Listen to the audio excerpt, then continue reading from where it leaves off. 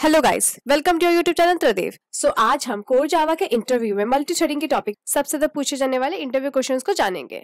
सो so, हमारा first question है what are the benefits of using multi threading multi threading use करने के सबसे ज़्यादा बेनिफिट्स क्या है? It allows the program to run continuously even if a part it is block अगर उसका कोई एक पार्ट ब्लॉक हो जाता है तब भी हमारा बाकी का प्रोग्राम जो ब्लॉक नहीं है वो एग्जीक्यूट करता रहता है continuously improve performance as compared to traditional parallel program. That uses multiple processes. ये प्रोग्राम की परफॉर्मेंस को इम्प्रूव करता है पैरेलल प्रोग्रामिंग की हेल्प से। Allow us to write the effective programs that utilise maximum CPU time ये ऐसे programmes को राइट करता है जिससे हम लोग मैक्सिमम सीपीयू टाइम को यूटिलाइज कर सकते हैं। Improves the responsiveness of complex application of program ये हमारे जो कॉम्प्लेक्स एप्लीकेशंस होते हैं प्रोग्राम्स के, उनकी रिस्पॉन्सिवनेस को इम्प्रूव करता है। Increase use of CPU resources and reduce cost of maintenance ये जो हमारा सीपीयू के रिसोर्सेज होते हैं उसकी जो मेंटेनेंस की कॉस्ट होती है उसे भी रिड्यूस करता है। Save time and parallelism task parallelism task मतलब एक टाइम पे हम लोग कई सारे मल्टीपल टास्क परफॉर्म कर रहे हैं तो इसकी वजह से हमारा टाइम भी बचता है। If an exception occurs in a single thread, it will not affect other threads as threads are independent. अगर किसी सिंगल थ्रेड में कोई एक्सेप्शन आ जाती है तो ये बाकी थ्रेड्स पे इफ़ेक्ट नहीं करेगा क्योंकि सभी थ्रेड्स एक दूसरे से इंडिपेंडेंट होते हैं। Less resource intensive than executing multiple processes at the same time come resources की ज़रूरत पड़ती है, क्योंकि यहाँ पे हम मल्टीपल अपने प्रोसेसेस को एक साथ ही एग्जीक्यूट करते हैं। Next what is a thread in Java thread आखिर है क्या जावा में? Threads are basically the lightweight and the smallest unit of processing that can be managed independently by scheduler. Thread जो होते हैं, एक बेसिकली लाइट वेट होता है स्मॉलेस्ट यूनिट होता है हमारे प्रोसेसिंग में, जो कि इंडिपेंडेंटली एक टास्क परफॉर्म करते हैं। Threads are referred to as parts as a process that simply let a program execute efficiently with other parts or threads of the process at the same time.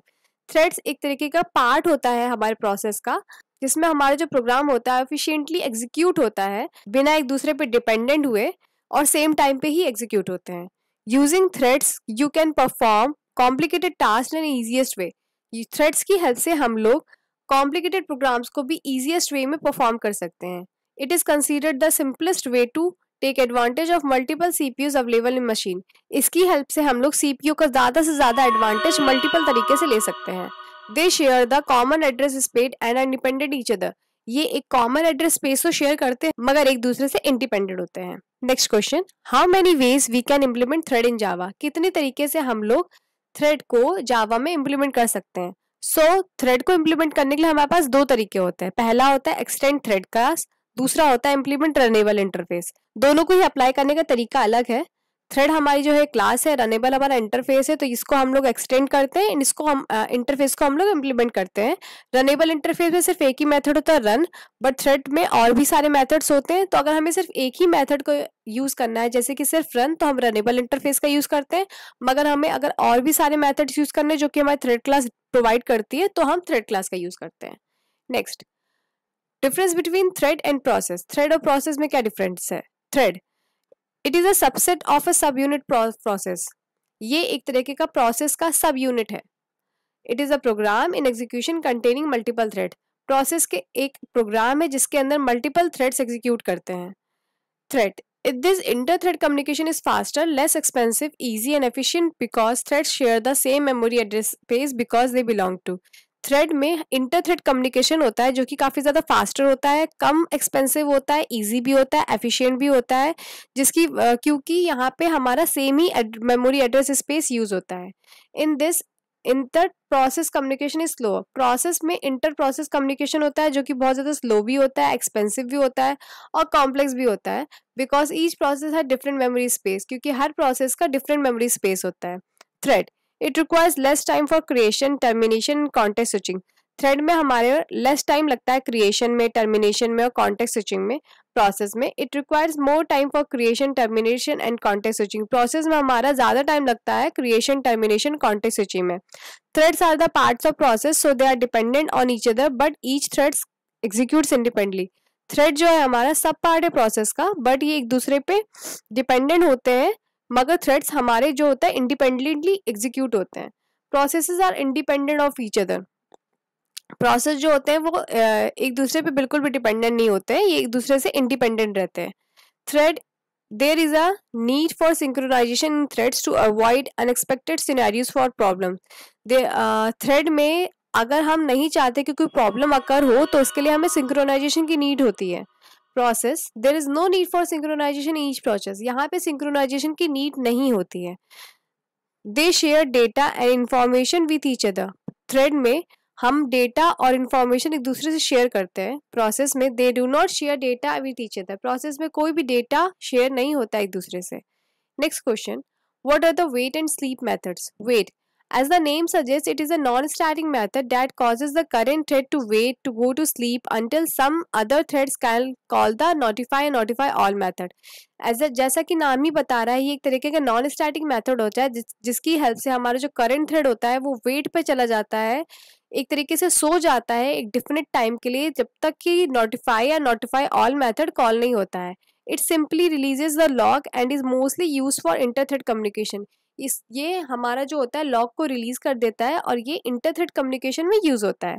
Sleep as the name सजेट it is a starting method that pause or stop the execution of the current thread for specific period of time sleep जो होता है, जैसे कि नाम से हमें पता चल रहा है, ये भी एक तरीके का स्टार्टिंग मेथड होता है, जो कि हमारे एग्जीक्यूशन को पॉज कर देता है कुछ टाइम के लिए या फिर कह सकते हो आप स्टॉप कर देता है गिवन पीरियड ऑफ़ टाइम के लिए। यहाँ पे हम आपको टाइम आपको डिफाइन करना पड़ेगा कितने टाइम के लिए आप चाहते हो ये थ्रेड स्लीप हो जाए okay next question Difference between notify and notify all method. Notify. It sends a notification to wakes up only a single thread instead of multiple threads that are waiting on the object's monitor. ये एक तरीके का notification भेजता है किसी एक ही thread को स्पेसिफिकली सिर्फ़ एक थ्रेड को जिसको हमें उठाना है जो अभी वेट में है notify all it sends a notification and wakes up all the threads and allow them to complete for the object's monitor instead of single thread notify all ये सभी थ्रेड्स को उठाता है लाइक like, वेक कर देता है जो कि वेट कर रहे होते हैं। एंड गाइस बहुत ही इंपॉर्टेंट बात हमने यहाँ पे जावा ट्यूटोरियल सीरीज़ में टेन लेक्चर्स ऑलमोस्ट अपलोड हो गए हैं एंड ऑल भी लेक्चर्स यहाँ पे शेड्यूल्ड हैं जो कि आपको time to time between two to three days आपको मिलते रहेंगे। तो प्लीज़ प्लेलिस्ट को फॉलो करिएगा ताकि आपसे कोई भी इंपॉर्टेंट टॉपिक मिस ना हो। Next question seven what is the difference between runnable and callable interface runnable और कॉलेबल इंटरफेस में क्या डिफरेंस है? Runnable interface it does not return any result and therefore can not throw a check exception callable interface it returns a result therefore can throw a check exception runnable interface कोई भी result को return नहीं करता है, इसलिए ये check exception को throw नहीं कर सकता। मगर कॉलेबल जो इंटरफेस होता है, ये एक रिज़ल्ट रिटर्न करता है, इसलिए हम यहाँ पे एक्सेप्शन भी थ्रो कर सकते हैं। It uses the run method to define a task runnable interface में हमारे पास रन मैथड होता है ताकि हम अपने टास्क को डिफाइन कर सकें। कॉलेबल इंटरफेस में बल्कि हमारे पास कॉल मेथड होता है ताकि हम अपना टास्क डिफाइन कर सकें। To use the this interface one needs to over the run method runnable interface को यूज़ करने के लिए हमें रन मैथड को ओवर करना होता है। To use this interface one needs to over the call method callable interface को यूज़ करने के लिए हमें कॉल मेथड को ओवर करना पड़ता है। Question eight explain the meaning of the deadlock and when it can be occur deadlock क्या होता है और कब ये अकर होता है? Deadlock as the name suggest it is a situation where multiple threads are blocked forever deadlock जैसा कि नाम से ही पता चल रहा है, ये एक तरह की सिचुएशन होती है जहाँ पे मल्टीपल थ्रेड्स हमेशा के लिए ब्लॉक हो जाती हैं। It generally occur when multiple threads holds a lock on the different resource and waiting for the other resource to complete their task. ऐसा तब होता है जब बहुत सारे थ्रेड्स अलग अलग रिसोर्सेज के लिए वेट कर रहे हो उनके अपने टास्क कंप्लीट करने के लिए। सो so, जैसे कि आपको इमेज से पता चल रहा है हमारे पास यहाँ पे दो थ्रेड है थ्रेड वन एंड थ्रेड आप थ्रेड वन को अपना टास्क कंप्लीट करने के लिए रिसोर्स वन भी चाहिए रिसोर्स टू भी चाहिए। और थ्रेड टू को भी अपना काम कंप्लीट करने के लिए रिसोर्स वन भी चाहिए रिसोर्स टू चाहिए। मगर रिसोर्स टू जो है वो ऑन किया गया है थ्रेड वन से और वो वेट कर रहा है रिसोर्स वन का। बल्कि रिसोर्स वन जो है वो ऑन किया गया है थ्रेड टू से और वो वेट कर रहा है रिसोर्स टू का। तो इस हिसाब से जब तक इसका काम पूरा नहीं होगा रिसोर्स वन रिसोर्स टू को लेकर तब तक ये खत्म भी नहीं होगा। और थ्रेड टू का भी सेम सिचुएशन ऐसा है क्योंकि इसने रिसोर्स वन ऑन कर रखा है बट इसको रिसोर्स टू का भी काम करना है। रिसोर्स मतलब इसको रिसोर्स टू भी यूज़ करना है। बट जब तक इसको वो नहीं मिलेगा ये भी काम अपना खत्म नहीं कर पाएगा। सो so, ये एक तरीके का डेडलॉक सिचुएशन हो जाता है। Next question how threads communicate with each other threads communicate कैसे करते हैं? तो बेसिकली थ्रेड्स हमारे तीन मेथड्स की हेल्प से कम्युनिकेट करते हैं. वेट नोटिफाई नोटिफाई ऑल जिनको मैं पहले भी आपको एक्सप्लेन कर चुकी हूँ वेट का यूज़ क्या करता है? वेट जो है हमारे थ्रेड को एक तरीके की स्लीप कंडीशन में पहुँचा देता है, जब तक नोटिफाई और नोटिफाई ऑल मेथड कॉल नहीं होते. और नोटिफाई नोटिफाई ऑल मेथड्स क्या होते हैं? नोटिफाई मेथड जो होता है, सिर्फ़ एक ही थ्रेड को अवेक नोटिफिकेशन भेज के उठाता है। नोटिफाई ऑल मेथड जो होता है, जितने थ्रेड्स भी वेटिंग पे होते हैं सभी को उठा देता है question ten What is a synchronization? Synchronization is basically a process in Java that enables a simple strategy for avoiding thread interface and memory consistency. Synchronisation basically एक तरीके का प्रोसेस होता है जावा में, जिसकी एक सिंपल स्ट्रैटेजी होती है ताकि हम लोग थ्रेड के इंटरफेरेंस को अवॉइड कर सके मेमोरी का सही से यूज़ कर सके this process make sure that resource will be only use one thread at a time when one thread tries to access share resource ये एक तरीके का ऐसा प्रोसेस होता है जो कि एश्योर कराता है कि एक थ्रेड हमारा एक टाइम पे एक ही रिसोर्स को एक्सेस कर सके। It can be achieved in different ways इसे हम कई तरीके से अचीव कर सकते हैं by the use of the synchronise method और by the use of the synchronise block next question है what is the synchronise method and synchronise block synchronized method. In this method, the thread acquires a lock on the object when they enter the synchronized method and release the lock either normally or by throwing an exception when they leave the method. इस method में thread एक lock acquire कर लेता है और जब हम synchronized method के अंदर जाते हैं तो या तो वहाँ पे normally lock release हो जाता है या तो वहाँ पे exception को थ्रो करके लॉक रिलीज़ किया जाता है मेथड में no other thread can use the whole method unless the until the current thread finishes the execution and release the lock कोई दूसरा थ्रेड उस मेथड को यूज़ नहीं कर सकता जब तक कि वो थ्रेड अपना एग्जीक्यूशन खत्म ना कर दे या फिर लॉक को रिलीज़ ना कर दे। It can be use when one wants to lock on the entire functionality of a particular method इसका यूज़ हम लोग तब करते हैं जब किसी को एक पर्टिकुलर इंटायर फंक्शनैलिटी पे लॉक का यूज़ करना होता है। Synchronized block. In this method, thread acquires the lock on the object between the parentheses after the synchronized keyword and releases the lock when they leave the block. इस method में thread जो है lock को acquire कर लेता है parenthesis में synchronise keyword का यूज़ करके एंड ब्लॉक को तब रिलीज़ करता है जब वो ब्लॉक को लीव करता है no other thread can acquire a lock on the locked object unless until the synchronise block exist कोई दूसरा थ्रेड लॉक को एक्वायर नहीं कर सकता जब तक कि सिंक्रोनाइज ब्लॉक एग्जिस्ट कर रहा है it can be use when one wants to keep other parts of the program accessible to other thread इसका यूज़ बेसिकली हम लोग तब करते हैं जब हम चाहते हैं कि हमें प्रोग्राम्स के अदर पार्ट्स को भी थ्रेड एक्सेस कर सके next Question 12. Explain inter-thread communication. Inter-thread communication, as the name suggests, it is a process or the mechanism using which multiple threads are communicate with each other interthread communication जैसे कि नाम से पता चल रहा है, एक तरीके का प्रोसेस होता है फिर मैकेनिज्म होता है जिसकी हेल्प से हम लोग मल्टीपल थ्रेड्स एक दूसरे से कम्युनिकेट करते हैं। It is specially use to avoid thread polling in Java can be obtain using wait notify notify all method ये जावा का एक बहुत ही इंपॉर्टेंट मैकेनिज्म होता है जिसके, जिसमें हम लोग तीन बेसिक मेथड का यूज़ करते हैं wait notify and notify all question thirteen explain thread priority thread priority simply means the thread with the highest priority will get a chance for the queue execution prior to the low priority threads thread priorities आपको अच्छे से समझ में, यही नाम से ही समझ में आ रहा होगा कि जिसकी ज़्यादा प्रायोरिटी होगी, उसको सबसे पहले चांस मिलेगा कि वो बाकी थ्रेड से सबसे पहले अपना काम खत्म कर सके।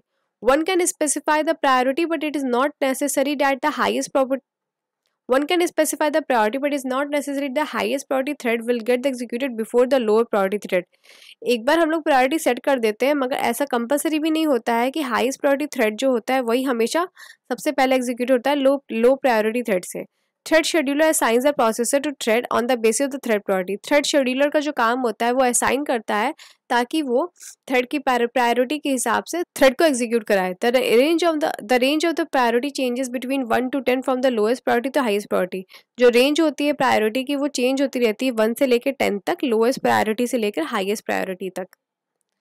Question fourteen what are the daemon threads daemon threads क्या होते हैं? These threads are the referred as a low priority threads इनको हम लोग लो प्रायोरिटी थ्रेड्स भी कहते हैं. Therefore are specially required for supporting background task task like garbage collection इनका बेसिकली यूज़ हम लोग बैकग्राउंड टास्क को परफॉर्म करने के लिए करते हैं, जैसे कि garbage collection releasing memory for unused object etcetera जैसे कि गार्बेज कलेक्शन जिसका काम है अनयूज ऑब्जेक्ट्स को क्लियर करना मेमोरी से। They are not use for any critical task but do the same supporting task इनका काम कोई क्रिटिकल टास्क परफॉर्म करने के लिए नहीं होता है बस सपोर्टिंग काम करने के लिए होता है। These threads are normally created by JVM in threads को जेवीएम ही क्रिएट करता है।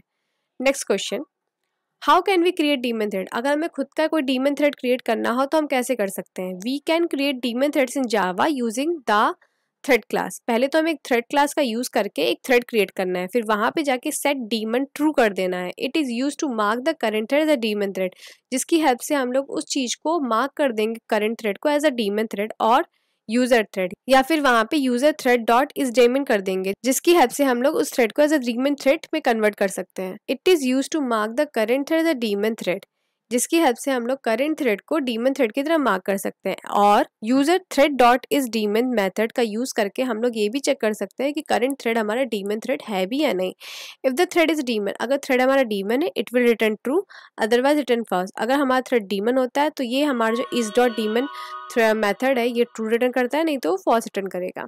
तो आई होप मल्टी थ्रेडिंग के सारे क्वेश्चंस आपको समझ में आ गए होंगे। कोई भी डाउट्स हो तो कमेंट सेक्शन में आप बता सकते हैं।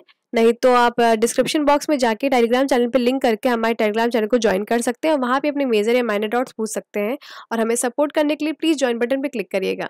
Thank you